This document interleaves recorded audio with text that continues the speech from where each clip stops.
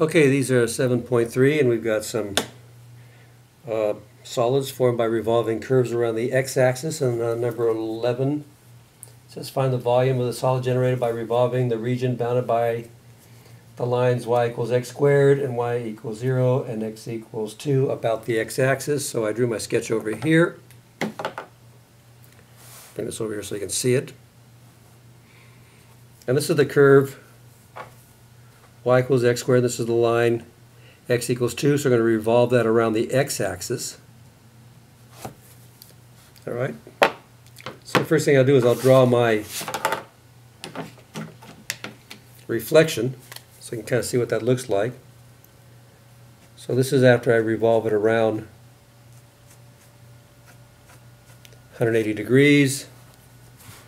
Didn't quite get it as symmetrical as I would like. And then we can see that we're going to form these little discs. That might be the radius, and it would look something like this. And they're going to go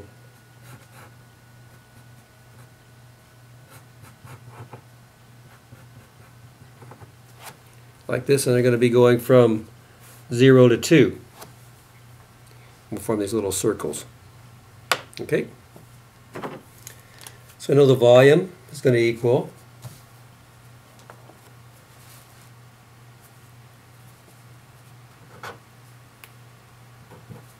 the integral from 0 to 2 pi r squared dx. And we need to find the area of this, so we need the radius, and the radius is just going to be my x squared, so my volume will equal, and I can bring the pi out in front, and that's going to be the integral from 0 to 2 uh, my radius squared. And what's my radius? My radius is x squared. That's all there is to it. And we can simplify that a little bit, so the volume will equal pi times the integral from 0 to 2 of x to the fourth dx, and I'm ready to take the antiderivative. So that equals just pi times and that's going to be x to the fifth over 5. I'm going to evaluate that from 0 to 2, and the nice thing is the 0 goes away. So I just end up with, and what's 2 to the fifth? 2 times 2 is 4, times 2 is 8, times 2 is 16, times 2 is 32. So that's going to be 32 over 5 times pi. And that's your volume. Okay, number 12 is pretty similar we just have this as the cubic.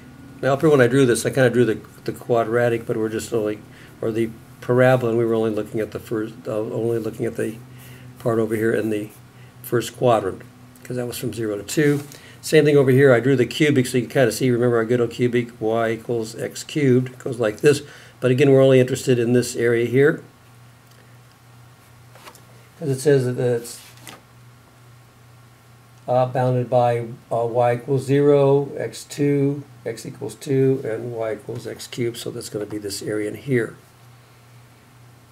y equals 0. so again, we're going to revolve that. So again, it looks very similar. So this would be my what it looks like when you revolve it after 180 degrees. That's your reflection. And again, we're going to draw these Try this in a different color this time.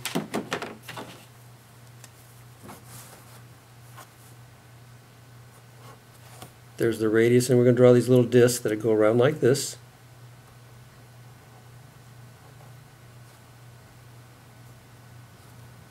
And we're going to sum those up. And they'll go from here to here.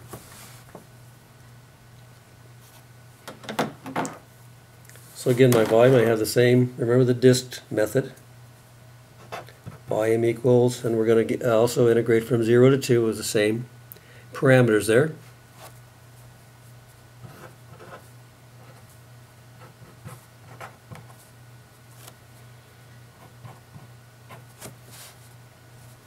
Okay, so volume equals, then we can bring the pi out, so pi times the integral from 0 to 2 of the radius squared dx, and in this case the radius squared is going to be the length given by this curve, or the height given by this curve at any point, which is going to be x cubed. And that just ends up equaling the volume. It equals the pi times the integral from 0 to 2 of x to the sixth dx. So I'm ready to take the antiderivative, so this is going to equal pi times, and if I take the antiderivative of x to the sixth, I get x to the seventh over 7 from 0 to 2. And again, the 0 just drops out. 0 over 0 to any power is 0 over 7 is 0. So I just have this, so it's going to equal pi times. And what's x to the 7th? Well, I'm sorry, 2 to the 7th.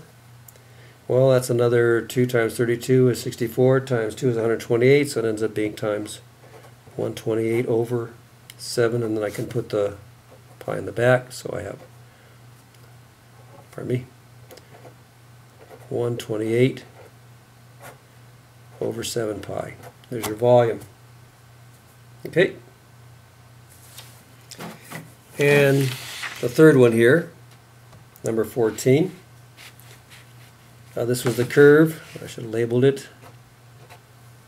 And we're just going to find the uh, volume when we rotate the region bounded by this curve, which was y equals x minus x squared.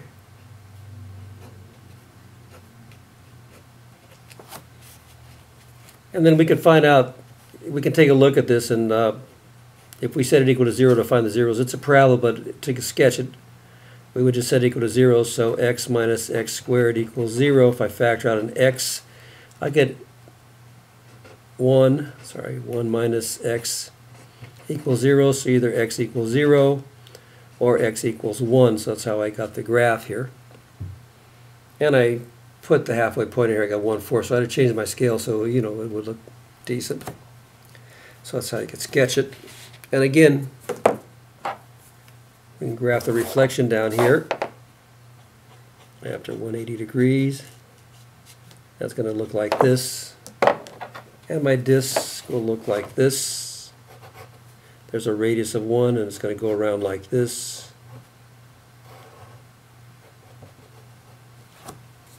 We'll just be summing those little discs up here. Hope you can see that. I can make it a little darker here.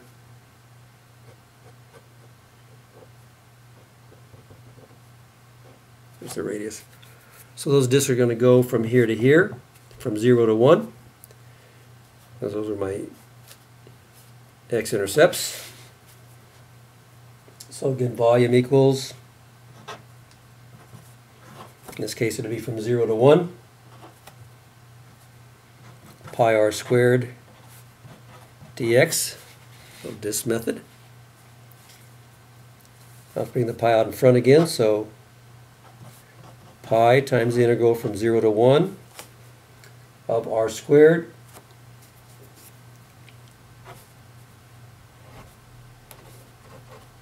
This is a little more complicated because my radius is going to be given by the height, which is the value of the function at any point x. Remember, it's a function of x.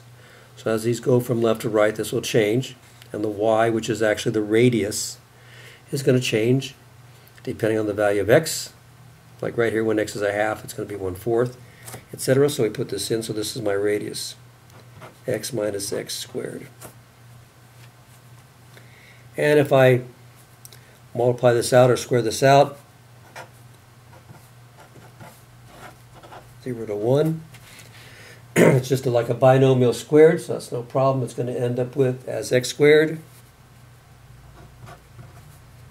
minus twice the product, so 2 times, and x times x squared is x cubed, plus x to the fourth dx, just by multiplying that out. Then we have the volume equals pi times the integral from, um, I guess I can just take the antiderivative now.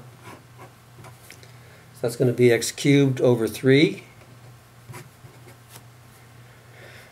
minus 2x to the fourth over 4 plus x to the fifth over 5. And that's going to be from 0 to 1. And again, all these zero functions will or these zero values will cancel out. So this is going to end up being pi. And then when I put 1 in here, I just get 1 third.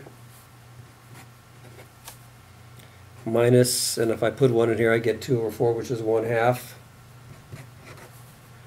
Plus 1 fifth. Now we got some fraction work to do. That equals pi times, and I guess my common denominator is 30. 3 times 2.